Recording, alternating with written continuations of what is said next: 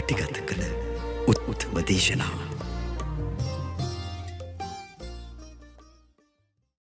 තව ප්‍රශ්නයක් මේ රජයේ හා මහ ජනතාව කොපමණ උත්සාහ කළත් ඩෙන්ගු උවදුර මර්ධනය කළ නොහැක්කේ වර්තමාන සමාජයේ දුස්චරිතවත් ස්වභාවය නිසාද කරුණාවෙන් පැහැදිලි කරලා දෙන්න කියලායි මේ කියන්නේ. දැන් මේකෙදි අපි දකින්න ඕනේ දෙයක් තියෙනවා. අර අපි අර ඉස්සෙල්ලා කිව්වා අනන්තල සමානාන්තල ප්‍රත්‍ය රටාව. ওই අනන්තල සමානාන්තල කියන මේ ප්‍රත්‍ය රටාව දෙක සමාන වුණොත් තමයි. සමානාන්තරය හැදුනොත් තමයි අනන්තරයක් හැදලා එන්නේ. දැන් මේ මිනිස්සෙන්ගේ තිබෙන්නා වූ හොඳ සහ නරක ගතිගුණ මුල් කරගෙන ඇති වෙන ශක්ති විශේෂයක් තියෙනවා. මෙන්න මේ ශක්ති විශේෂය අනුව තමයි ආධ්‍යාත්මික වාහිර කියන ලෝක දෙකක් සකස් වෙන්නේ.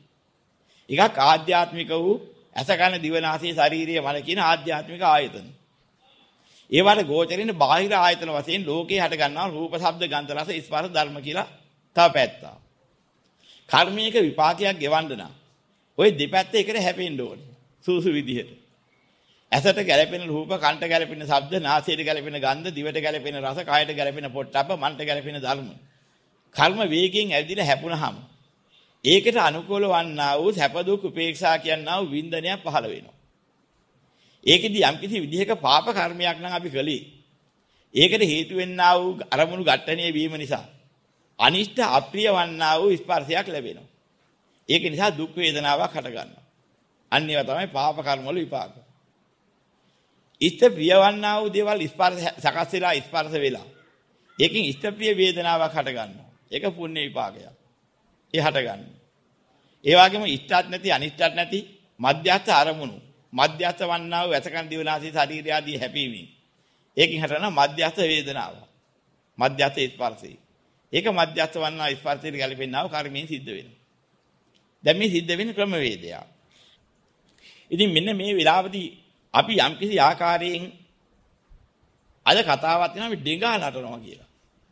අපේ සමාජය අද තියෙන කතාව. හැමතැනම ඩෙගාලාටලා වරින්කෝ. මේ පැරණි ගම්බැදි අය අදත් කියනවා. ගම්බැදි නෙමෙයි ඒවා. පැරණි භාෂාව. ඔය තියෙන්නේ. ඔය ඩෙගානටනවා කියන්නේ වැලක් නැති හරියක් නැති බොරුවට කෑකෝ ගහලා පුලප්පු කරලා මිනිස්සු රවට්ටලා ගාන කඩා ගන්න දෝ જાතිය වැඩ කරන වැඩ පිළිවෙල. ඔය තමයි ඩෙගා නැටි.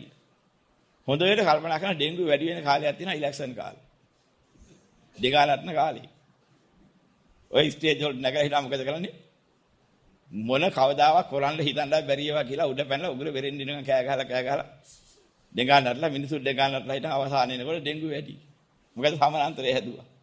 ওই જાතියෙන් හටගත කර්ම වේගේ බොරු කියලා රවට්ටලා උඩ පැනලා බොරුවට මිනිසුන්ට උද්දාමියක් ඇති කරවලා තියලා ওই જાතියව කරපුවාම ඇතිවෙන්නා වූ ඇතිවෙන දාහේ ඒක අපහාසයේ ඇතිවෙන්නා වූ එකේ තියෙන සාපේ ලෝකයේ පළ දෙන ක්‍රමවේදයක් හැදිනා විස බීජය සකස් කරලා ඒකට ගැලපෙන්නා වූ සතෙක්ගේ මාධ්‍යයෙන් හරි ඒක වෙන්න පටන් ගන්නවා.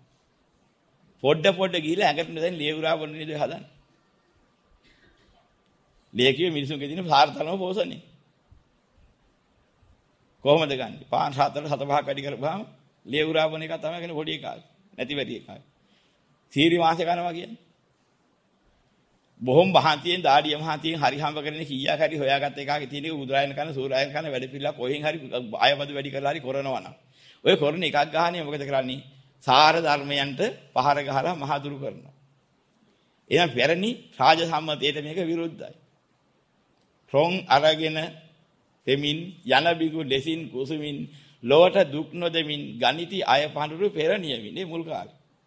ඒක තමයි අය පඳුරු ගත්ත බදු ගත්ත ක්‍රමී බඹරා මලෙන් රෝන් අරලා යනවා මල තැලෙන්නේ නැතුව. අන්න එහෙම ආයවදු ගන්න එකයි පෙර නියමේ. රාජ නියමේ. ඒකෙදි නම් ওই ප්‍රශ්නේ ඉන්නේ නැහැ. නමුත් අද මොනවා කියන්නද ඒකට? අද ගන්න සාලේ බැලුවොත් එහෙම මිනිසුන් කර කියා ගන්න දෙයක් නැහැ. මැරෙන්න බැරි හින්දා ඉන්නවා. වෙන මොනවා කරන්නද? නමුත් ඒක යක්කම නැහැනේ කාටවත්.